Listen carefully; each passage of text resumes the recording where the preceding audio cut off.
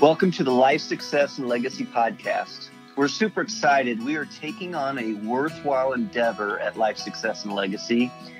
Our intention is to honor Nelson Nash, the man, as well as the infinite banking concept. We're going to create a series of resources, including podcast and text, as a resource for others who want to truly understand with depth and clarity what Nelson shared in his book, Becoming Your Own Banker as well as the many seminars and think tanks that we were fortunate to have attended during his life. So, who is this intended audience? Well, we will use Nelson Nash's own words. It is written for the layman, not for financial advisors, but all life agents should be thoroughly knowledgeable of its content and practice. So, whether you are an individual, part of a family, a business owner, or a life insurance agent, this is for you. So sit back, relax, and we will walk you through becoming your own banker step by step so you can reference the parts you want to revisit at your own pace. And we might have a little fun along the way. Hey, good morning, everybody. We are uh, we are trying to stay dry here in Lawrence, America. We have been rained on a lot. We want to welcome you to uh, our next uh, episode of the Life Success and Legacy podcast. Chris Bay here with Michael K. Everett. Good morning. Everett. How are you, sir? Good, good. You keeping that sump pump running? Uh, I actually I have a uh, I have a one horsepower unit on its way. I ordered a bigger a, a, a double the size horsepower sump pump. I'm not playing around anymore. Bigger is better if, if, any of you ever want to have a conversation with Mike Everett in the springtime when it's raining here in Kansas, mm. your likelihood of having a conversation about his sump pump is probably nine to 10 chance, nine out of 10 chances. Oh, it's a hundred percent right now. It's a hundred percent. We all have our things, don't we? Oh, buddy, I'm there. Either it's either golf or sump pumps this time of year. Come on, come on, I'm on. Well, um, we're excited to get into into this. We were just having a conversation before we uh, pressed record with Mike Crawford on our team, who makes us makes this podcast actually appear out there so people can get to listen to it. And we were talking about this section. We are on page 41 uh, of Becoming Your Own Banker, and we are in the fifth edition. And again, we always recommend you get a copy of this book if you don't have one. I would say, especially for this section, um, mm-hmm. because I don't know how you'd get through this section without uh, a copy of the book because there's just so much detail and there's we start to get into charts and such.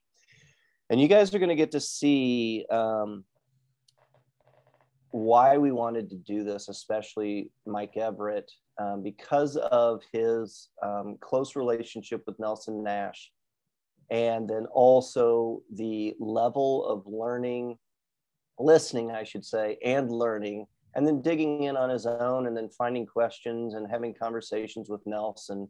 I think that's really going to come to even a higher level of awareness uh, during this section because it gets pretty detailed. We're on part three of page 41 how to start building your own banking system. And um, this section, Mike, I, I can't. I can't tell you how many times somebody has asked why would I take a loan against my policy from the life insurance company at a higher percent interest rate potentially? Not always, but potentially. When I could get a lower interest rate if I took a loan from the bank or the car dealership to purchase a car. That question comes up so many times. Time after it, time after time. And it is hard when when we've got we talk about these ruts, right? Yep. Yep. We got these ruts in our brains, just like driving the tractor down the fence row for year after year after mm-hmm. year. Mm-hmm.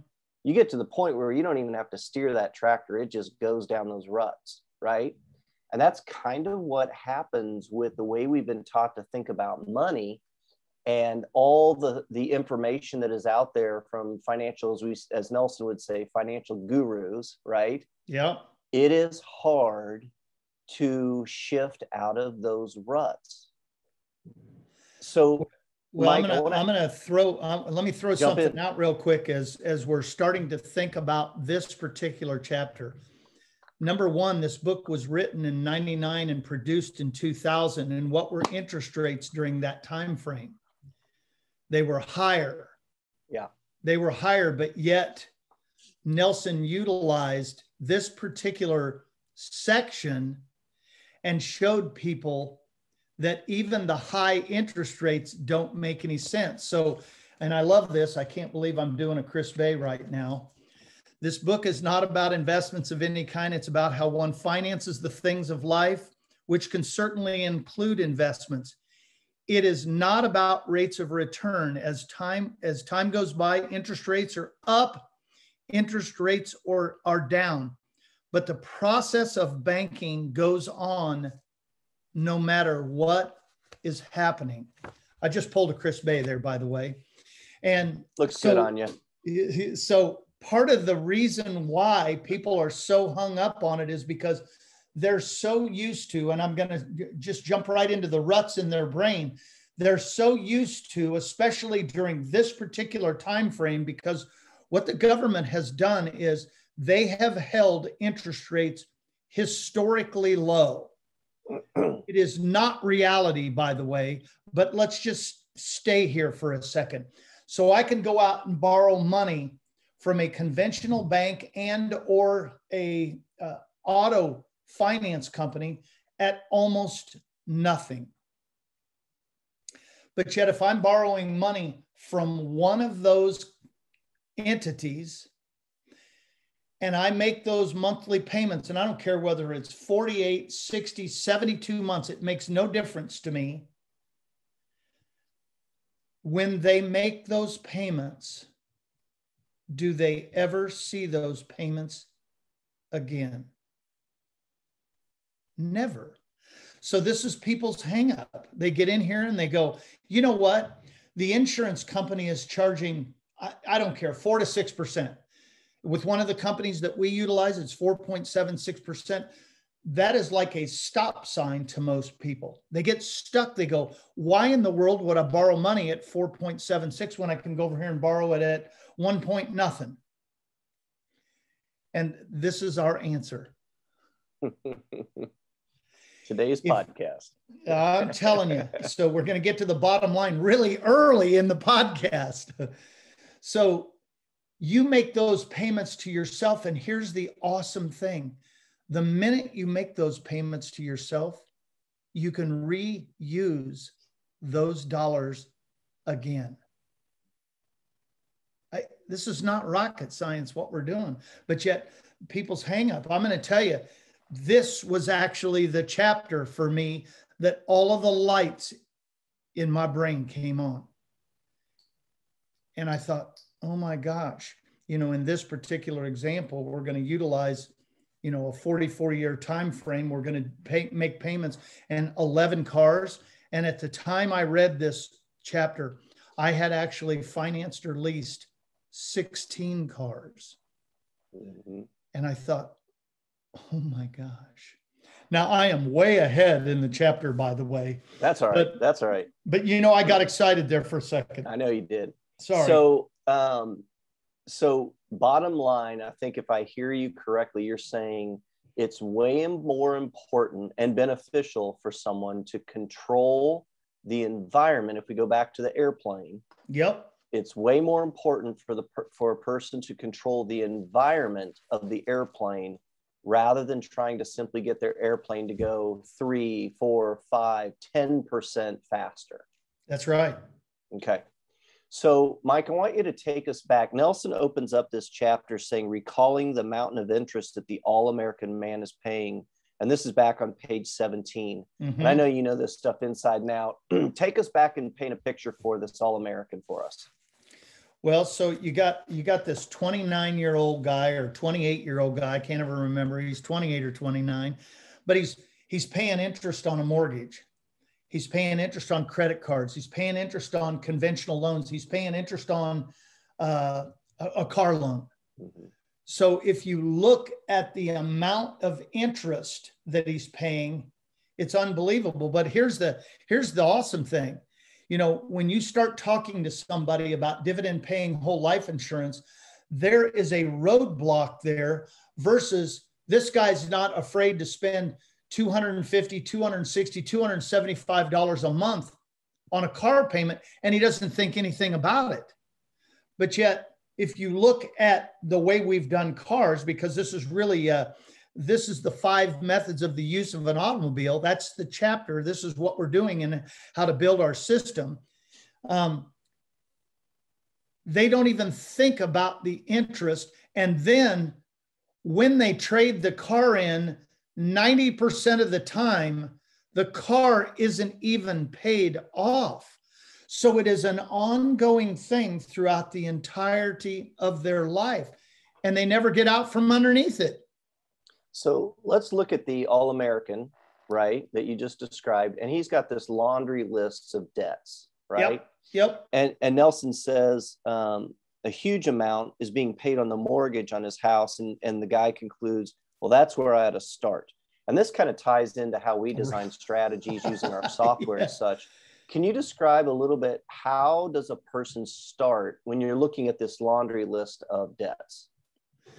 Well, it's better to, it just says right here, it's better to attack an area that's attainable, that's fairly short. And usually, and I'm just saying, usually, the car loan is usually the shortest. Mm. So, uh, you know, when we start looking at, at um, loans, debt, we want to, we want to utilize one of the smallest or shortest loans to attack because you know and you've heard me say this a hundred times.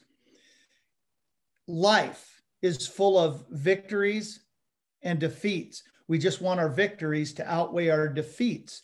So if we can start by attacking let's say a small credit card or a car loan or a, a small student loan then all of a sudden those payments that they're paying whatever they're paying the car loan company the uh, the student loan company whatever um, they can now turn those you know controlling the environment now we're talking mm-hmm. about. Changing the they, wind current. That's it. They can now start to make those payments to themselves.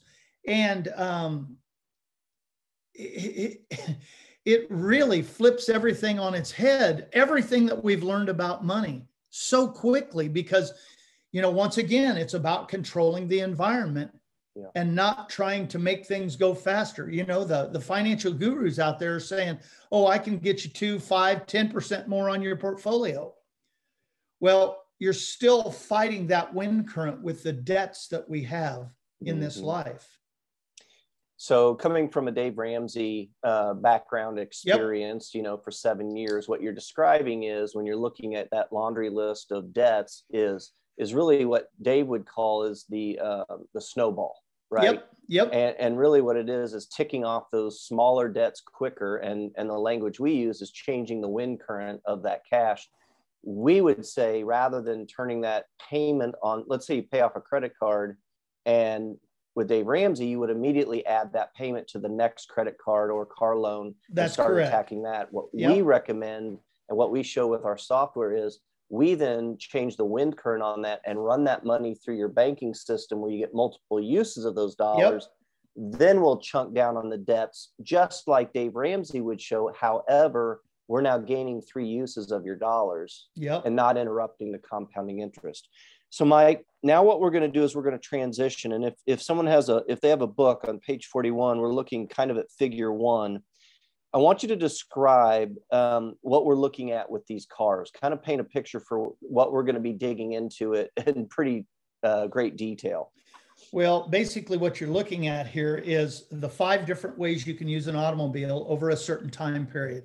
You've got the lease method. Uh, that's pretty self explanatory. You're going to lease cars. We're going to just do this out the entirety of your life. Then you have uh, the bank method, which is really you're just utilizing a conventional bank to finance your automobiles. Then you have the cash method, which is really you're saving up money. That's called the sinking fund. You're saving up money, you're buying a car. You're saving up money, you're buying a car. And then you have the CD method, which we show in, in different ways. But what you're going to do is you're going to capitalize a certificate of deposit and utilize that as your equity source, but then borrow money from the conventional bank utilizing the CD as collateral. And then you have the infinite banking method, which really you're doing the same thing as the CD method, but you're utilizing a dividend paying whole life insurance policy to learn how to finance your own vehicles or use your own vehicles. Nelson was always kind of careful in his uh, verbiage because really what we're doing is you and I buy cars, we use them, and then we trade them in and we get another one and we use another one. And that's what we do throughout the entirety of our lives. So these are the five different methods of the way you would use an automobile. But what we've done is Nelson is now turning around and utilizing a 44 year time period to give some clarity mm-hmm. as to where our money is coming and going. So if we look at the five uses that you just described, three of which you do not control the banking function. Somebody else is controlling the banking function. That's right. The last two are giving examples of how an individual could actually control the banking function in the use of vehicles, correct? That's correct. Okay, so let's dig into uh, method A, lease method. Okay, And again, the details of this is we're looking at a 44 year period, right? That's right. Okay. We're financing 11 cars and we're just basically going to uh, lease one. The start, you remember, you don't have to have any money down. You just go in and you lease it. Mm-hmm. And then you're going to trade that car back in every four years for 44 years. So you're going to do 11 cars over this time period. Okay. So that one's pretty straightforward. Method B, we're in the second column now. That's method right. B is using the commercial bank method, which I, I'm guessing most people are familiar with the first method, the leasing, and then also the second one. Can you dig us, paint a little bit of a picture here on the method B, the second method where we're using the bank? Because um, he starts to talk about payments and, and those sorts of things. Well, in fact, remember uh, the, the, the car value he is utilizing in this particular example is $10,550. So we're financing this car over a four year period, 48 months. So the car payment that they are making to the finance company, this is method B. You go down, you borrow the money, and you go purchase your car. And then now what you're going to do is you're going to basically make a $260 a month payment back to the commercial financing company or the commercial bank. Mm-hmm. Um, you literally, and I'm going to tell you, you could probably go down and ask any commercial lender, you could go down and ask any automobile financing company, what percentage of cars are paid off when people come back in? I think you would find that less than 50% of the cars are paid for when they come back in and finance a car. Mm-hmm. We just um, keep so cycling them. It is a perpetual cost. And so when you and I, uh, I'm just going to use us as an example, mm-hmm. when we go down and we trade in a car, do we get a lesser value car or do we get a more expensive value car? Well, a luxury once enjoyed becomes a necessity. Let's just get it out there. Page 28. Parkinson's law. We're, we're going to get a nicer car. So this number in the book never really changes, but in all reality, it, common sense would tell you that you're going to get a nicer car. Yeah. So, so, so number one, leasing, it's just, it's just cash out. You don't walk away with anything. It is a hundred percent losing cause. With the finance at the bank, they're controlling the banking function. Yep. Right. We're yep. making payments to them, which we never see that money again. Right. And in That's most right. cases, those cars don't get paid off. And then we upgrade and go get another car to replace that one. That's right. Okay. So Any any last words on on the bank method before we go to the third uh, method C? No, the, the bank method is pretty. It's pretty simple. Yeah, people understand that because that's what people do. Okay. Method C. This is the Dave Ramsey's of the world. This is save up and pay cash for vehicles. Right. This was Chris Bay when I met him. That is absolutely correct. we like to buy um, old model, high mileage vehicles that you got to repair and make sure you've got AAA for your wife so she doesn't get stranded on the side of the road, right? That's, That's the life right. we were living. That's right. so, um, this cash method, um, really what we're talking about is saving up and paying cash so that you're saving the interest. Yep. Yep. Okay. Point though, if I've got money saved up and I go pay cash for that vehicle, one, I don't get to see that cash anymore. And number two, I have killed any compounding interest on that money. That's right. And the the the big caveat in this whole thing is you have to defer the purchase of that car for at least four years while you're saving that money. Mm-hmm. So there is a, a, really, really, really slow gratification of getting that car. Doesn't work it's, for you, I bet. No, it does not. well, and the the thought process is you are even when you pay cash for a vehicle, you are making a car payment. You're just making the car payment before you actually get the use of the car. That's right. Because you're saving up. That, so it's a car right. payment, a car payment, a car payment, and you're building up that cash that you have to go pay cash for the vehicle. That that's exactly right. Okay. And as you mentioned earlier, I'm now over on page 42 at the top. Uh, you mentioned earlier the sinking fund, which is, you know, save up, go pay cash. Boom. Save up, go pay cash. Again, interrupting that compounding interest. You know, right. one of the statements in this particular section is with the three methods that we've talked about the lease, the bank, cash. Nelson states in here that we have probably covered at least 90% of the population. I think that we've probably covered 97 to 98% of the population. Yeah. Yeah. So, and um, he also quotes now, obviously, the book was written in 2000, but he says leasing is was up 35% uh, mm. uh, in the last few years, according to many radio commercials. So, oh, it's higher than that now. I would imagine. Yeah, so. I bet you you're in the 50 to 60% because CPAs are showing their uh, clients how to deduct the payment, et cetera, et mm-hmm. cetera. And we could get into a whole different thought process there, but uh, it's all a bunch of garbage. So these next two methods are really the um, the guts of this chapter. Yep. And, and they are painting a picture of how a person could control um, their environment and, and take control of the banking function. Um, there are a variety of ways that a person could control their banking function. Yep. You can you, you can create a bank using your savings account. You could create a banking system doing a 401k, yep. a Roth, um, a variety of ways. Nelson's going to demonstrate here, and Mike's going to talk us through. The first of these two ways is utilizing a CD to build up equity or collateral to then use for loans. And then the second method that we're going to get into, which is method, um, the last method is going to be that's method E, is going to be the IBC using mm-hmm. whole life. And we'll get to contrast those two. So, Mike, paint a picture for us. Give us some details on method D. Um, well, so this is the CD method. So basically, uh, the first three methods have really not addressed, and it states it right here in the book, the need for capitalization. So there has got to be a, pool created.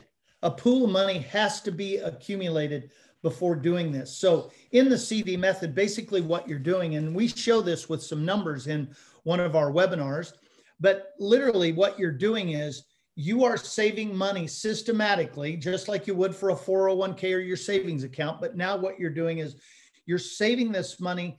And then what you're going to do is you're going to purchase a certificate of a deposit, CD.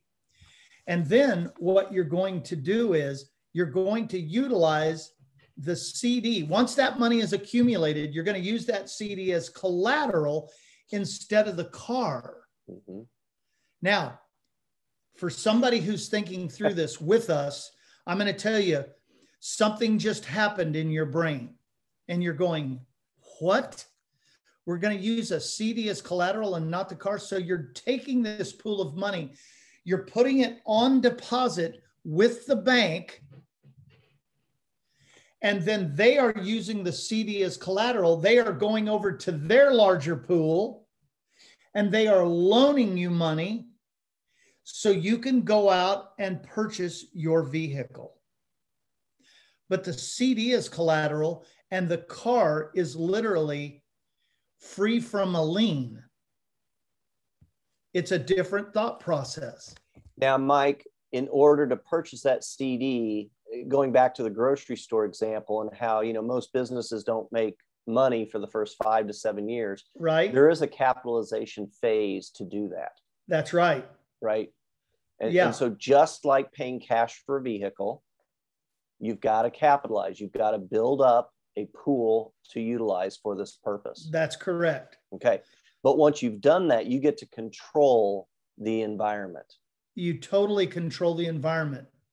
The only uh, the only real downside is once you put that CD up for collateral, you don't have access to that cash or that CD until the car is paid off. Mhm. So there is a, a, a negative light shown on the fact that, yeah, you are sort of con- controlling that environment, but you're not controlling 100% of the cash flow of that pool yet. It's way, way better than the first three methods. But there is a better way. And and we say oftentimes that IBC can work for everyone, but it's not for everyone. And I think this is where Parkinson's law comes into play when That's we talk right. about capitalization. You know, if a person is not able or willing to capitalize and to build their system early on, um, IBC may not be for them. We know this. I'm Yeah. telling you, well, we've experienced it with an awful lot of people. Okay.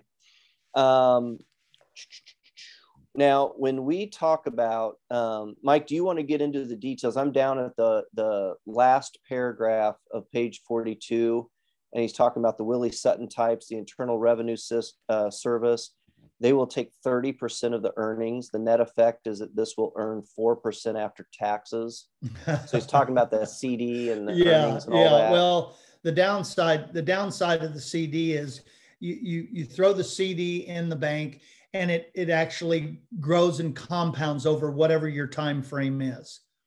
But good, bad, or indifferent, every year when the growth happens on that CD, you get this wonderful little interest form from the bank, and you've got to pay income taxes on the growth. So that's a downside of utilizing the CD. Mhm. But I'm gonna I'm gonna say this again. It's still a whole lot better than the lease, the bank, or the cash method because you are still experiencing growth. Yes, you got to pay some taxes, but Now, that's hang the on way a it is. second, Mike, because CDs right now, they're not earning hardly anything. One point nothing. Why would I put money into a CD that's earning so little? And we have interest rates that are so little where I could borrow that money from the bank to purchase the car. Well, the positive, the positive thing, you are a rat, you're a rascal. um, the positive thing is, even though you're still utilizing a CD with absolutely almost no interest at all growth, you are still making those payments back to the financial institution. So let's just say we did this over four years. right. We have a CD that's making nothing. We're still having to pay a little bit more than what our CD is is uh, making, but at the end of the four years, let's just say you took the car payments and you made the car payments on time and you paid the car off in four years. At the end of the four years, do you have a car that's paid for? Absolutely. Do you have a CD that has earned interest? So, do you have all of your money plus interest? It is a win win in that particular case. But I guess the, the question remains is there a better way? That's right. That's right. Okay. You want to jump into method E? Well, method E is, is the fifth method, and it's utilizing a dividend paying whole life insurance. So we've got to kind of step back a little bit and think about capitalization again. So, in a dividend paying whole life insurance policy, do we still have to make premium payments or capitalize our life insurance policy? Absolutely. Yeah. So, now keep in mind, we've gone through this in previous podcasts, but during that capitalization period, we're talking about re-engineering the way the premium is allocated for that particular policy. So I, am going to go back and make a couple of statements just because I want to refresh people's memory. If I had to ask everybody listening right now what was more important to them, cash or life insurance, what would everybody say? Cash. Mm-hmm. So we've taken the base and lowered the base premium and we've flood loaded the paid up additions rider to create more cash value inside the policy. So what we're doing is we're utilizing this whole life insurance policy as just a depository, a place to park some cash, but yet we have to be realistic and help people understand we have to build the pool of cash before we access it. It's the same in a savings account. Mm-hmm. It's the same in the certificate of deposit. But the awesome thing is you're utilizing a old school life insurance policy that's been rearranged the way the premium is. Do you have cash when you capitalize it? Absolutely. Do you have access to that cash value through a policy loan? Absolutely. Do you also have life insurance in place in case if something happened to you, somebody you loved would get a death benefit. But then here's the awesome thing if you have a life insurance policy, you're doing the same thing as the certificate of deposit. You're actually utilizing that as an equity source you go over to the company now, the company loans you money for whatever equity you have in that policy, and then they loan you the money at 4.76%. You can go out and get your car, but here is the awesome thing your equity source, the policy cash value, is still growing and compounding like you never touched it. It's unbelievable. And there's another piece that I think when you compare the two, one is yes, your your policy is still growing and compounding as if you never touched it, but when you look at the payments and who controls the payments, if you're using a CD as collateral at the bank, who is controlling the terms of the payments? Uh, the bank controls the entire thing. Okay, Mike, now contrast that because this to me is huge is the freedom. Contrast that to an IBC loan? So, who owns the policy? The owner of the policy. The owner of the policy. So, here's where the the the the big crux of things goes. The owner of the policy has absolute control of all of the functions of what goes on. They have they literally control nelson says they control the entire scene. They have they own the policy. They've saved the money. They've borrowed money from the life insurance company but yet the the policy is continuing to grow and grow and compound. Who gets to decide the terms of the payments? You do the owner of the policy. So if you've got somebody who and we were talking about starting with the smaller loans and moving up to the bigger loans. If let's say you have a loan at a conventional bank and we are able to pay off that conventional bank and you, your payment I'm just going to use is $500 a month. And that $500 a month is stressing you out. Do you have to make the $500 a month payment back to the life insurance company for the policy loan on the policy that you own? You do not. So you get to control the amount of money, you get to control the interest rate, and you get to control the monthly payment.